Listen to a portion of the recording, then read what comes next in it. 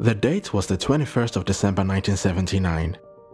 The Lancaster House Agreement had just been signed, and the Rhodesian Bush War, also known as the Zimbabwe War of Liberation, was officially brought to an end.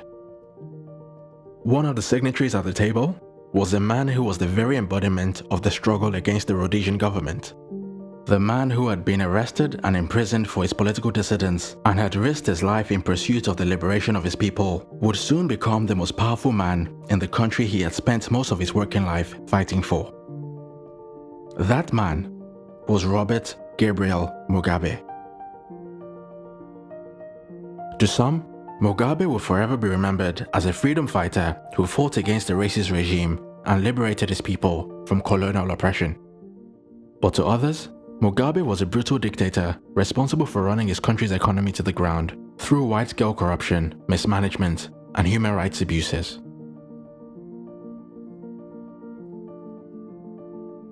Born in a small town in what was then known as the British colony of Southern Rhodesia, Robert Mugabe was the fourth of six children. His voracious appetite for learning and his sharp mind would win him a scholarship to study at the University of Fort Hare in South Africa. It was here that a young Mugabe would join the ANC Youth League and be introduced to his guiding political philosophy of Marxist-Leninism. Upon graduation, Mugabe would begin his career as a teacher in northern Rhodesia before moving over to teach in Ghana, where he would meet his first wife, Sally Hayfron. While in Ghana, Mugabe would become a big believer in the revolutionary ideas of Ghana's first president, Dr. Kwame Nkrumah, and his brand of African socialism. Putting his newfound faith into practice, Mugabe would return to join the growing black nationalist movement in his home country, which was led by the charismatic Joshua Nkomo and his National Democratic Party.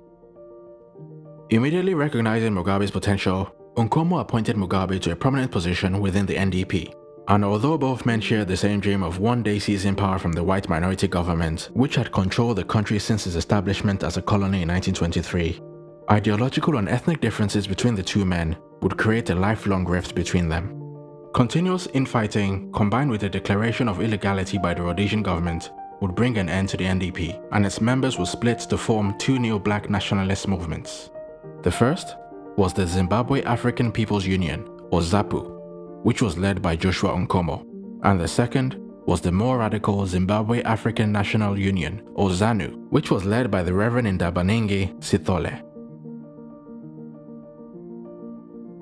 The growing black nationalist movement led by the likes of Nkomo, Mugabe, and Sithole would strike fear into the hearts of the white population, most of whom would rally behind the right-wing Rhodesian front of Winston Field and Ian Smith. With most of the black population still unable to vote, the Rhodesian Front would win the December 1962 election on the back of a campaign that promised the continuation of white minority rule in southern Rhodesia and the achievement of full independence from Great Britain. The new government would grow increasingly wary of Mugabe and his party members, and in 1964, Mugabe and Sithole would be imprisoned for sedition. Mugabe's time in prison would be made even worse after he received news that his three-year-old son had died of an illness in Ghana and he wouldn't be allowed to attend his funeral. But even in prison, Mugabe would continue on his life's mission.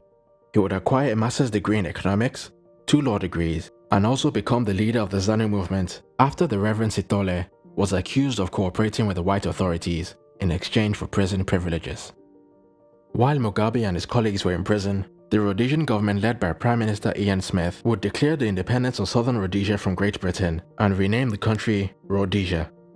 Rhodesia's declaration of independence was rejected by Britain and its allies, and sanctions were imposed on the Rhodesian government.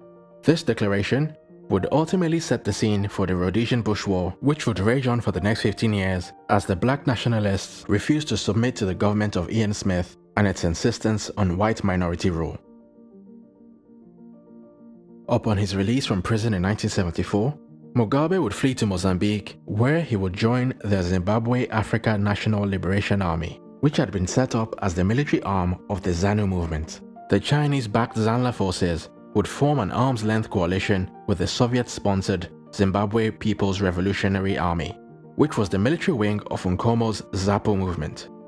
This shaky coalition would be known as the Patriotic Front, and their joint objectives would be to bring down the Rhodesian white minority government, establish an independent state which was ruled by the black majority, and repatriate to the black population the thousands of acres of land now owned by Rhodesia's population of white commercial farmers. The Rhodesian Bush War would claim the lives of over 1,000 Rhodesian fighters, 10,000 Patriotic Front militias, and 20,000 civilians. The fighting would eventually be brought to an end with the signing of the Lancaster House Agreement, in which all parties agreed a ceasefire, and Rhodesia's unilateral declaration of independence was effectively nullified. This agreement would serve as the roadmap for the creation of the independent nation of Zimbabwe, which would be ruled by the black majority. The agreement would nevertheless ensure that the white minority would continue to enjoy many of their economic and political privileges. 20 seats would be reserved for white legislators in the country's new parliament, and the protection of the white community's farmlands and properties would be guaranteed in exchange for a commitment from the UK and US governments to provide the required financial assistance that would enable the Zimbabwean government to gradually purchase land from the white community that would be redistributed to landless black Zimbabweans. With the agreement signed, the country was temporarily returned to British control pending the conclusion of the very first elections in which the entire population would be allowed to vote regardless of race or class. And after a very rocky election season with reports of widespread voter intimidation and two assassination attempts, Robert Mugabe was elected as the first prime minister of the newly independent Republic of Zimbabwe as the ZANU party won 37 more seats than Nkomo's ZAPU party. Mugabe's first actions as prime minister would be aimed at decolonizing the minds of the black population by means of a complete rebranding of the country. His government would remove all statues and references to Rhodesia's colonial founder, Cecil Rhodes. The names of several cities would also be changed, the most prominent of which was the Rhodesian capital of Salisbury, which would now be known as the Zimbabwean capital of Harare. For the most part, the early years of Mugabe's regime would see him praised in international media and received the support of Western governments in the form of development aid. Pursuing a policy of reconciliation, he would appoint two white ministers into his government, and in a 1981 address, he was recorded as saying, If yesterday I fought you as an enemy, today you have become a friend. If yesterday you hated me, today you cannot avoid the love that binds me to you. British Foreign Secretary Lord Carrington would even put his name forward for a Nobel Peace Prize nomination in recognition of his efforts to bring about the Rhodesian peace settlement. Despite initially suggesting that Zimbabwe would be converted into a Soviet-style socialist state with a centralized economy, Mugabe was keen to prevent a full-scale white exodus which he recognized would most likely cripple his nation's economy. In sharp contrast to his Marxist rhetoric, his government's budgetary policies would be surprisingly conservative, and Zimbabwe would remain a market economy for all intents and purposes. Mugabe would nevertheless invest heavily in providing free education and healthcare to the general population, and in the first 20 years under Mugabe, Zimbabwe's infant immunization rates would rise from 25% to 92%, and its literacy rates would rise from 62% to 82%, a record that very few African leaders could compete with. With the help of the British government, Mugabe's regime would also resettle over 50,000 black families on land that was purchased from white commercial farmers. But regardless of his early successes, Mugabe's reputation as a progressive visionary leader would slowly but surely begin to be tarnished. Despite their joint success in the fight for Zimbabwe's independence, ideological differences combined with Mugabe's general distrust of Joshua Nkomo and his Ndebele tribesmen would see Mugabe begin plotting to suppress Nkomo and his supporters. Keeping his enemies close, Mugabe would appoint Nkomo into the toothless bulldog role of Minister of Home Affairs and would also appoint other key ZAPU members into similarly high-sounding but powerless positions within his cabinet.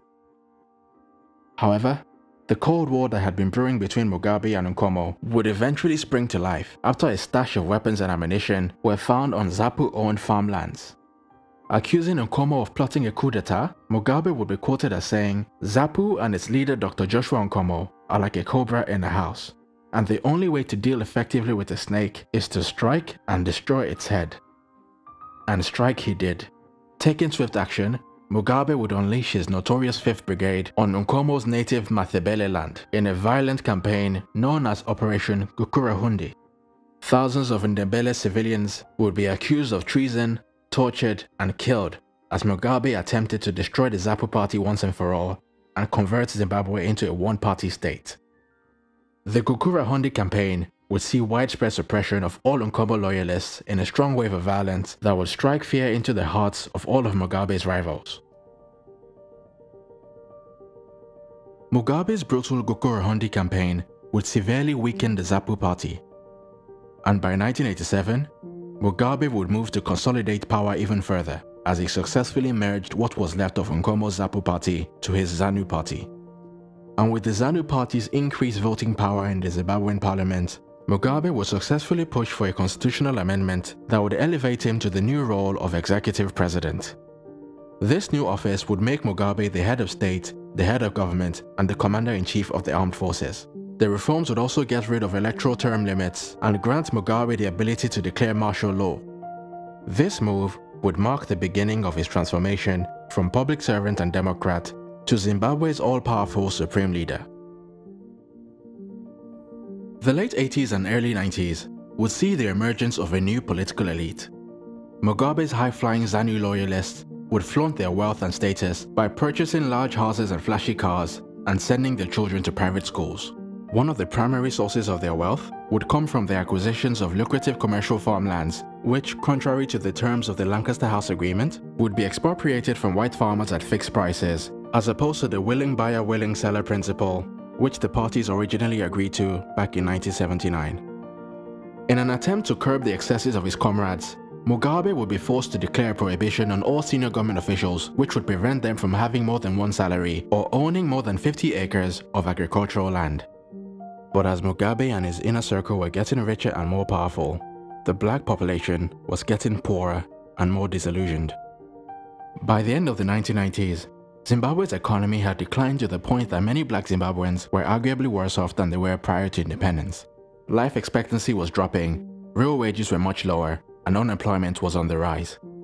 Feeling cornered, Mugabe would increasingly begin to blame the country's economic woes on Western interference as well as the white Zimbabwean minority which despite his government's land expropriation policies, still controlled Zimbabwe's agricultural and manufacturing industries. Mugabe's rhetoric would become increasingly aggressive, and on one occasion, he will be quoted as calling on his supporters to strike fear into the hearts of the white man, who according to him, was the real enemy. He would also continually accuse his black detractors of being political stooges and sellouts. By the time of the crossover into the new millennium, the Mugabe regime would find itself under even more pressure as a new wave of young city-dwelling Zimbabweans began to call for change. This was a generation of Zimbabweans who were born after the War of Liberation, and while they were very grateful for Mugabe's efforts to bring about political freedom, what really mattered to them was economic freedom. The emergence of this generation would see the ZANU party begin to lose its foothold in urban areas, and Mugabe would find himself increasingly needing to seek the support of the rural population. Determined to stay in power and energize his base, Mugabe would constantly resort to his tried and tested revolutionary rhetoric and attempts to convince the rural population that all of their problems were due to the white minority's occupation of their ancestral lands and a global conspiracy by racist foreign powers to sabotage his government. Zimbabwe's elections of the year 2000 would be the most momentous since the country's first elections back in 1980. And although Mugabe's ZANU party would ultimately win the election, the movement for democratic change, led by Morgan Tsvangirai, would mount a major challenge to ZANU's dominance, winning a total of 57 out of 120 seats. While still strategizing on how to deal with the rising threat posed by Tsvangirai's MDC party, Mugabe would be faced with another problem. The war veterans of the Zimbabwe War of Liberation, who had found their pension funds embezzled by corrupt officials, would take matters into their own hands by organizing violent attacks on white farmers and taking over their commercial farms. Not wanting to waste a golden opportunity to regain the support of an increasingly disgruntled and disillusioned black population, Mugabe would approve of the takeovers, as it would not only help provide a temporary solution to the pension problem, but would also help galvanize his rural supporters, to whom he would once again be able to project himself as a revolutionary hero.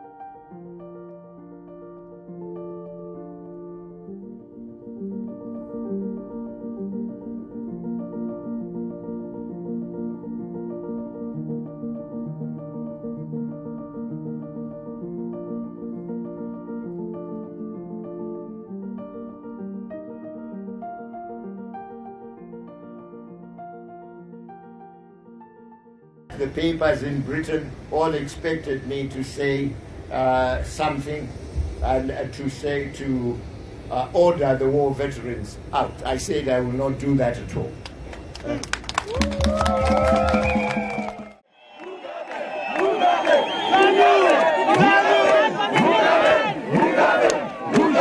to the likes of Ian Smith. Ian Smith's farm to date has not been designated because it lies, I take it, in an area where, and in circumstances uh, in which uh, it's, it's not possible to designate it. But if we had decided to be arbitrary, we would have seized that land. And not only seized the land, but seized the person as well.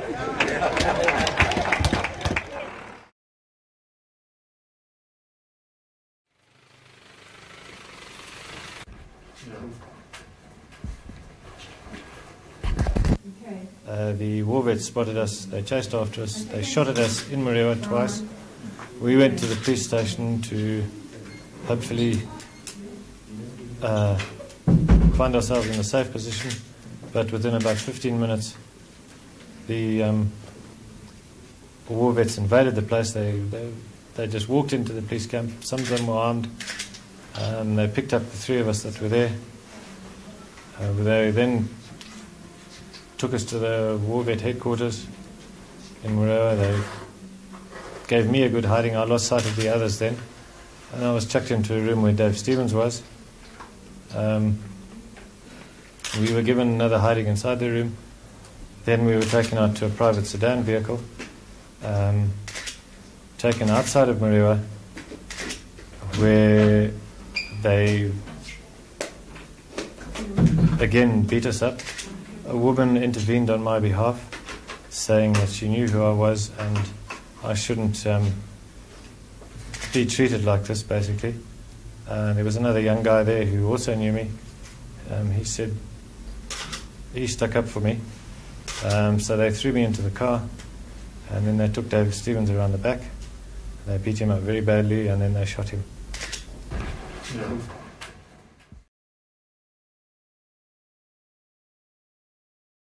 I, I certainly believe that the responsibility of the current state of affairs lies squarely on President Mugabe himself. Because when the farm invasions were first undertaken as part of his plan, um, he was publicly condoning lawlessness and anarchy. Uh, he was disregarding court rulings. He was uh, instructing the police to keep off.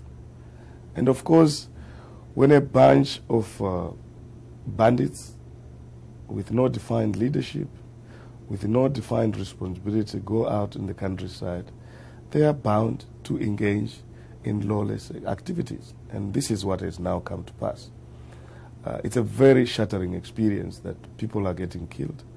Some of, some of the people are very close to me, uh, black and white. So it is not just about a particular race. This is not a race war. So to conclude that there is going to be civil war, I think it is exaggerating the current state of affairs. By targeting white farmers, by targeting the racist uh, the race, by promoting the racist angle, he is hoping that the whole nation will support him on this dangerous path. Unfortunately, the people of Zimbabwe uh, don't see this as a racist issue. See this as a, a, political opportunism on the part of Mugabe to try to raise the land issue at the next elections. And yet he had 20 years to resolve this issue. So people have seen through the whole strategy. That's why he's very disappointed. Riding the wave of the Zimbabwean zeitgeist, Mugabe would take things one step further by issuing a presidential decree giving his government the legal right to seize white-owned farms without compensation. By this point, Mugabe's once cordial relationship with the British government had completely broken down, and acting contrary to the UK's commitments under the Lancaster House Agreement, British Prime Minister Tony Blair had stopped providing the Zimbabwean government with the necessary financial support that would have enabled the Mugabe regime to purchase land from the white community. With the British government no longer fulfilling its side of the bargain, Mugabe felt completely justified in simply seizing land and directing the white landowners to seek compensation from Mr. Blair's government. When challenged by the Zimbabwean judiciary on the legality of his actions, Mugabe will be quoted as saying, The courts can do whatever they want, but no judicial decision would stand in our way. My own position is that we should not even be defending our position in the courts. The country is our country, and this land is our land. They think because they are white, they have a divine right to our resources. Not here. The white man is not indigenous to Africa. Africa is for Africans, and Zimbabwe is for Zimbabweans. After successfully maneuvering its way around the judicial challenge, the Mugabe regime would begin indiscriminately seizing white-owned commercial farmlands without compensation. But despite the many promises of a bright new dawn and prosperity for all black Zimbabweans, the farm seizures would wreak havoc on Zimbabwe's economy. A large number of the seized farmlands would be left unoccupied, while many others were distributed to peasant farmers and close associates of the Mugabe regime who would be unable to maintain the same levels of productivity due to inexperience, lack of equipment, and in some cases, lack of interest. By the year 2008, corn production had dropped from 2 million tons to approximately 450,000 tons, and a food crisis would grip the nation which was once referred to as the breadbasket of Africa. An estimated 75% of Zimbabwe's population would find itself relying on food aid as Zimbabwe's GDP dropped by nearly 50%. The Mugabe regime now heavily in debt due to his reduced tax revenue and his costly involvement in the Congolese civil war, would begin a rollout of an unprecedented series of quantitative easing measures that would see the Zimbabwean dollar crash in 2007 as the country recorded an inflation rate of over 7,600%. By the very next year, the inflation rate had reached a staggering 250 million percent, with a loaf of bread costing about a third of the average daily wage, and most Zimbabweans unable to pay their rent. The unemployment rate would rise to over 80%, and life expectancy would drop to as low as 34 for women and 36 for men, a sharp drop from the 1997 figures of 63 and 54 respectively.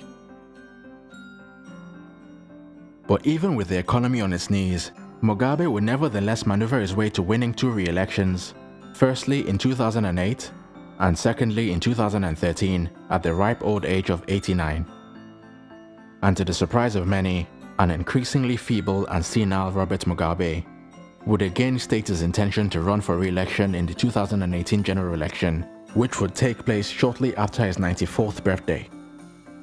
But unfortunately for him, Mugabe would make a major mistake in November 2017 when he sacked his vice president Emmerson Mnangagwa. This move would fuel speculation that Mugabe was about to name his very unpopular second wife Grace as his successor. Mugabe had married Grace back in 1996, a few years after the death of his first wife Sally Hayfron. In contrast to her predecessor, Grace Mugabe was very unpopular with the ZANU establishment, as well as the general public, who would dub her Gucci Grace thanks to her love for designer clothes and shopping sprees abroad. Unwilling to wait and see what would happen, Mnangagwa loyalists would mobilize to place Robert Mugabe under house arrest, and he would be sacked as the leader of the ZANU party, with Mnangagwa appointed in his place. Mugabe was then given an ultimatum to either resign or face impeachment. Mugabe initially refused to resign, but as the impeachment proceedings began, he finally saw the writing on the wall and announced his resignation on the 20th of November 2017. After over 37 years in power, Mugabe's severance package will be reported as including full immunity from criminal prosecution, retention of all business interests acquired during his time in office, as well as a cash payment of at least $10 million. But within the space of two years, Mugabe would pass away in a Singaporean hospital at the grand old age of 95, leaving behind a legacy with more detractors than supporters. A full-blooded Marxist revolutionary who had faced prison and risked his own life in the fight for the independence of his nation, Mugabe's status as a revolutionary Hall of Famer is undisputable. His promotion of racial reconciliation in the early years of his administration would come a whole decade before Nelson Mandela espoused the same philosophy in post-apartheid South Africa. However, his addiction to power would ultimately prove to be his undoing. Although both Mandela and Mugabe were prisoners turned presidents, the big difference between the two men is that while Mandela stood down after one term in office, Mugabe would cling on to power until the bitter end. Today, Nelson Mandela is universally respected as an untainted hero, while Mugabe will unfortunately be remembered by many as an oppressor who turned one of the most promising African nations into a failing state and became the very embodiment of the thing he had spent most of his young life fighting against. tyranny. In the words of the great Nelson Mandela, the trouble with Mugabe is that he was the star, but then the sun came up.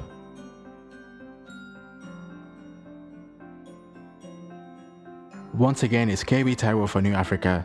If you've enjoyed this video and would like to see more content like this, then please like and share this video and also consider supporting us on Patreon at www.patreon.com slash newafrica. Thanks again for all your support and until next time.